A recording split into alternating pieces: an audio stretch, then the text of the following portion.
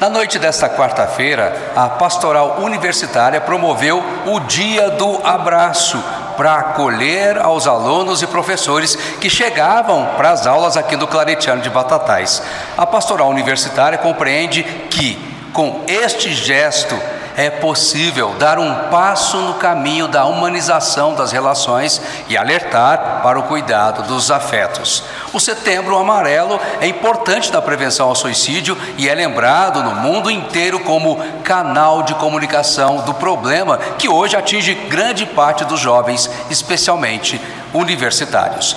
Essa ação é pela Pastoral da Juventude da Universitária Claretiano, aqui de Batatais. E ela teve a iniciativa por conta do Setembro Amarelo e também aproveitando que é o mês da Bíblia que a gente comemora. Nós católicos comemoramos o mês da Bíblia.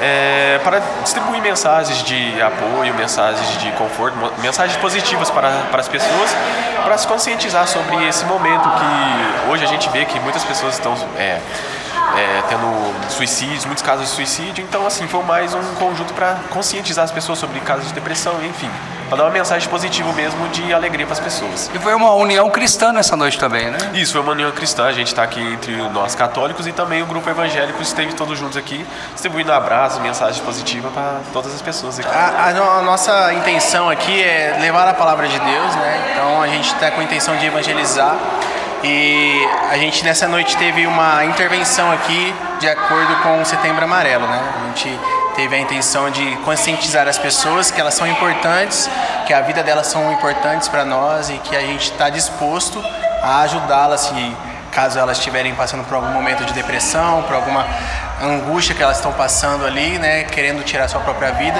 Então a intenção aqui é mostrar que elas não estão sozinhas, que a gente está disposto a ajudar se preciso for. Gente, a Mariana chegou feliz da vida aqui no Claretiano e já recebeu aquele abraço. O que você achou desse gesto? Achei muito legal, né, da parte deles. A gente tem um dia muito longo, né, um abraço.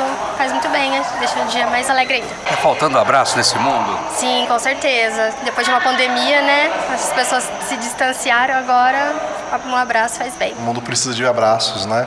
É, abraço sempre é algo importante. Se a gente for pensar desde pequeno, né? Assim que nasce a criança, já coloca no colo da, do pai, da mãe, sobretudo da mãe, né? E ali aconchega.